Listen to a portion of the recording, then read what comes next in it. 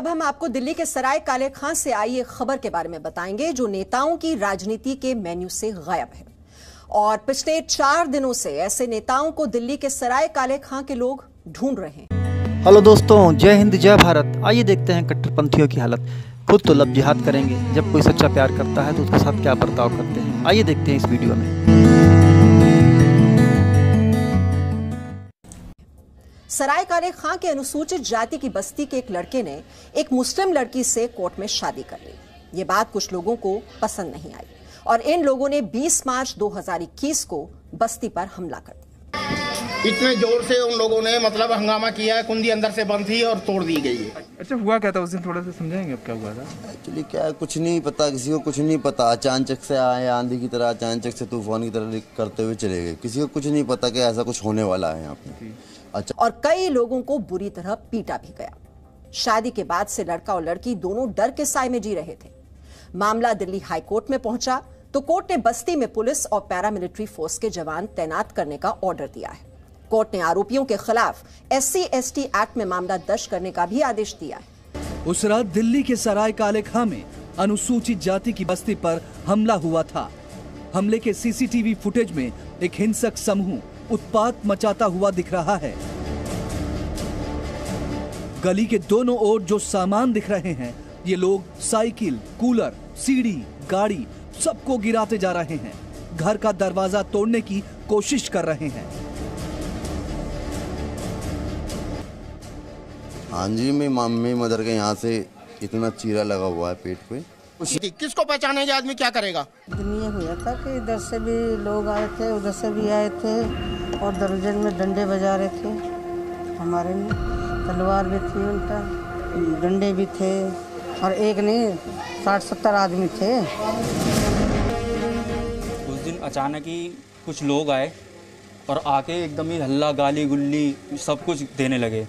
और गली में जो जो दिख रहा था ना, सबको तोड़ फोड़ करके तलवारें, चक्कू, उनके हाथ में पिस्टोल थी और हमारे ये दीवारों दिख रहे निशाने, ये पूरे निशानों में एकदम तोड़ने की कोशिश की थी, वो तो ठोस था, इस वजह से टूटा नहीं। मेरे चाचा अचानक ही ऊपर से उतर के आए, उन्होंने जैसी कड़ी खोली और एकदम इनके हाथ में छुरी लग गई तलवार।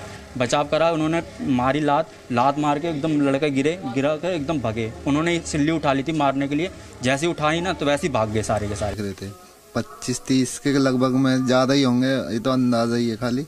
सबका सामान, गाड़ी वाड़ी जो भी था, वो सब तोड़ते हुए जा रहे थे यहाँ से। हमने भी देखा अपने गैलरी से, यहीं से झाँक के तो उन लोगों ने हमारी गाड़ी वाड़ी गिराई। दो चार मिनट के बाद जब वो निकल गए सारे, हम लोग नीचे गए अपना गाड़ी वाड़ी देखने के लिए।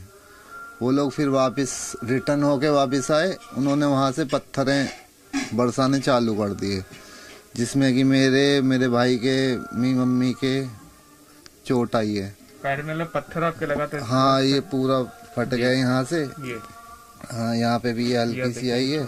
मेरे को ईंट का पत्थर लगा इधर ये रहा। 20 मार्च को इनके साथ हिंसक घटना हुई।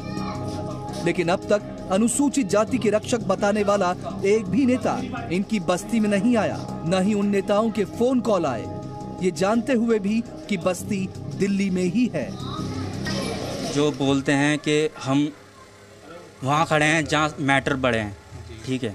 आज यहाँ पर इतना बड़ा मैटर हो चुका है वो अभी तक झांके तक नहीं है यहाँ पर। यहाँ तक कि उनकी कॉल तक भी नहीं आई है। वैसे बोलते हैं कि हम तुम्हारे साथ हैं हम दलितों के साथ हैं हम दलितों के रखवाले हैं। कौन से रखवाले हैं? वो जो अभी तक नहीं आए।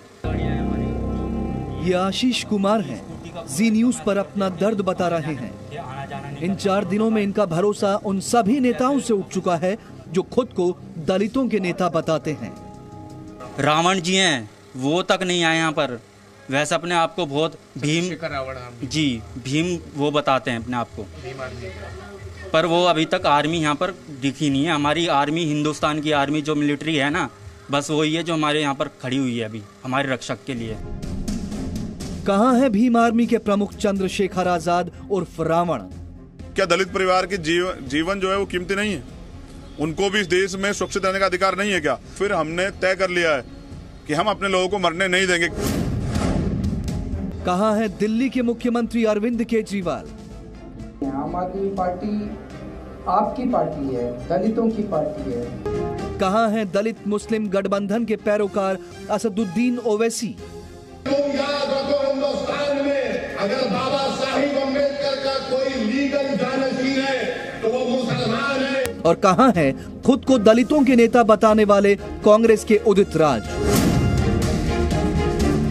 जब रोहित वेमुला की हत्या होती है उना में दलित मारे जाते हैं उत्तर प्रदेश में मारे जाते हैं तो नरेंद्र मोदी जी के मुँह से एक शब्द नहीं निकलता है। कहीं ऐसा तो नहीं कि नेताओं को सराय काले खां की इस कहानी के बारे में कुछ पता ही ना हो। उनको ये मतलब ये जो मसला हुआ उनको कुछ बड़ा नहीं लग रहा उनको उनसे कुछ मिलेगा नहीं। समझ रहे हो? उनसे उनको उनको कुछ मिलेगा ही नहीं। उनको आके कुछ फ़ायदा नहीं। वो वो वहाँ जाते जो उनको मिलता है कुछ। जब ही आते हैं जब अपना मतलब होता है वैसे कोई नहीं आता। ऐसे लगता है वो अपने मतलब के लिए आते हैं। अब हमारा मतलब निकला तो वो बिल्कुल भी नहीं है मुँह भी नहीं दिखाया उन्होंने तो आके पूछा भी नहीं उन्होंने आके भी तुम्हें क्या हुआ क्या नहीं हुआ कहाँ लगी कहाँ नहीं लगी। कोई नहीं आ रहा। जब उनको इलेक्शन चाहिए होंगे तो हमारे घर आएँगे हाथ जोड़ेंगे पैर पकड़ेंगे सब कुछ करते। और हमें इस टाइम उनकी ज़रूरत है तो हमारे पास कोई नहीं आ रहा इस टाइम कौशल्या ताई के मुताबिक बस्ती में हिंसा की वजह प्रेम विवाह है। 17 मार्च को इसी बस्ती में अनुसूचित जाति के एक लड़के ने दूसरे संप्रदाय की लड़की से शादी की।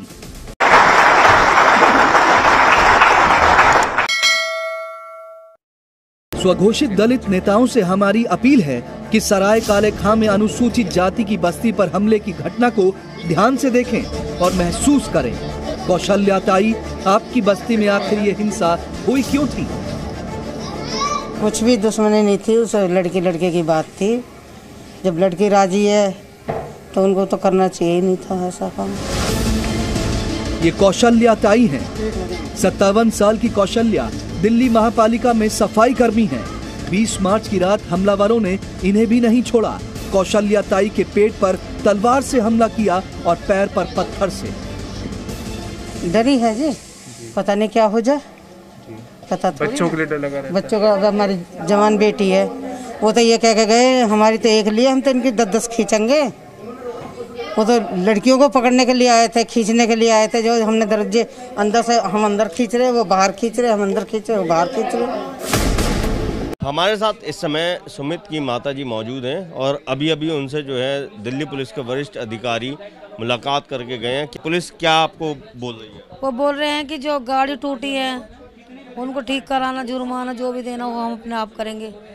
तुम डरो मत, किसी चीज़ से भी हम तुम्हारा साथ देंगे। अपनी खुशी से शादी करी जी उन्होंने। सारे कागज़ बने हुए हैं, सब कुछ। पुलिस के वहाँ कोर्ट में शादी हुई हर चीज़ से शादी हुई, आर्मी सरवा से शादी हुई है। फिर भी इतना ज़ोर दिया जा रहा। हमारे जो, हमारे हिंदुस्तान की लड़की दो गई हुई है मुसलमानों में। पिछली गली के हमारी नंदी की लड़की है।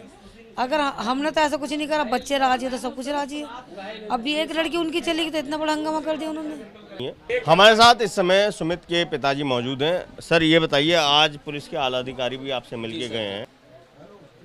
और इसके अलावा और क्या बात हुई? जो आपके बेटा और जो बहू हैं उनकी सुरक्षा को लेकर आपने कोई बात मैंने कहा सर देखो मैं मेरे बेटे को उन्होंने मारने की धमकी दी है। उन्होंने कहा आज नहीं तो कल आएगा कल नहीं तो दो साल बाद आएगा। हम उसका मर्डर कर देंगे अपनी बेटी को काट के फेंक देंगे। तो मैंने वही आगे रखा देखो मैं बहुत गरीब आदमी हूँ। मेरे पे इतना पैसा नहीं कि मैं गली गली कहीं दूर दूर छुपाता फिर भी जाऊँगा। कल ना तो कल ना कल तो आना ही है मेरे बच्चे को। और बताओ इतना मेरे पास पैसा भी नहीं कि मैं कहीं किराए पर रह के मकान ले लूँ या कहीं जाऊँ। और जिन तत्वों ने ऐसा गलत किया है उनको सज़ा मिलनी चाहिए बस। और अनुसूचित जाति आयोग से भी कुछ सदस्य आप लोगों से मिल गए उनसे क्या बात हुई? उनसे वो यही बात हुई थी जात बरादरी को लेके मैंने उनको एक हम कमिश्नर साहब को भी एक एप्लीकेशन दे दिए हमलावर लोग थे। उनको क्या आप लोग पहचानते हैं? उनके बारे में पुलिस को जानकारी। सबको हमने हम नहीं पहचानते लड़की ने जो हमारी बहू है हमने उसको वीडियो कोटेज मोबाइल पे दिखाई थी देखिए कौन कौन है उसने नाम बताए थाने में सबके नाम हमने ऐड करा दिए। कितने लोगों नाम? आदमी के नाम ऐड करा दिए तीन पहचाने नहीं जा रहे हैं। बीस के करीब जो सामने आए हैं कैमरे में। हाँ जी। ये रही। वो सब जो है पुलिस को जानकारी दे दी गई हमलावरों को। वो सब क्या पाँच गिरफ़्तार हो चुके हैं और बाकी फरार है अभी। वो सब क्या मतलब लड़की के परिवार से ताल्लुक रखते हैं या हाँ परिवार से लड़के और वहाँ के कुछ लड़के थे कुछ लड़के बाहर के बुला रखे थे उन्होंने। हमारी हत्या करने के लिए उन्होंने ये सोचा था कि हम काले बच्ची को लेकर बेटे को यहाँ आएँगे और इनका मर्डर कर देंगे। जो हम यहाँ आ जाते बाबूजी हम बच नहीं सकते थे। देख लो तुम दरवाजे कूलर वूलर इतनी बुरी तरीके से तलवारें चली हैं। देखो भाई साहब के पास वीडियो। हाँ जी। अभी आपको कोई डर है? नहीं डर तो कुछ नहीं है। बस मैं चाहता हूँ जी देखो मेरे को सुरक्षा मिलनी चाहिए। और बेटा और बहू अभी सुरक्षित है? वो सुरक्षित हैं, सुरक्षित कहाँ हैं? किसी आप जैसे कि घर में छुपा रखे हैं। अलग बेटी कहीं है, जॉब करती है, बेटी ड्यूटी नहीं जा रही है। प्राइवेट मेयर मेरा बेटी कमाती है अभी। मैं पाँच दिन से ड्यूटी नहीं गया हूँ। बताओ मेरा घर का गुजारा कौन चलाएगा?